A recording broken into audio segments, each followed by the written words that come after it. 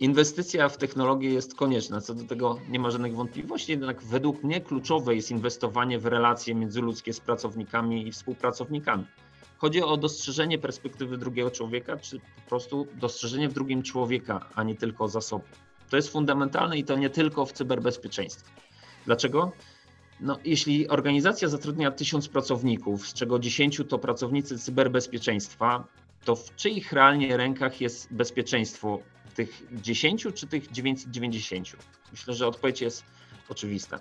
Dlatego w NN inicjatywy dotyczące bezpieczeństwa infrastruktury czy aplikacji y, są realizowane w zespołach, które zajmują się tymi obszarami.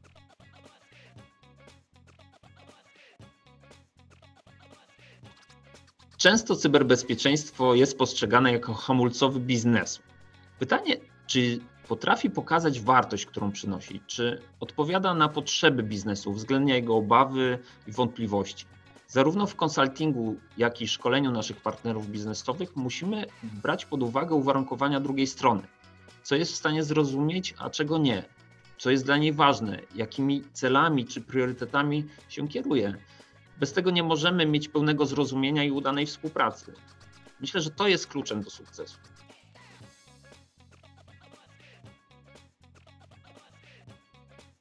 Nie będę oryginalny, jeśli powiem, że phishing, malware czy w szczególności ransomware, jednak zaryzykuję stwierdzenie, że te zagrożenia będą miały o wiele mniejszy zasięg, jeśli postawimy na edukację na temat cyberzagrożeń.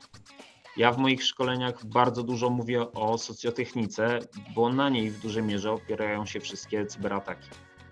Jeśli chcecie usłyszeć więcej na temat tego, jak w NN wdrażamy cyberbezpieczeństwo, Zapraszam na nasze wystąpienie na Security Connect 2022.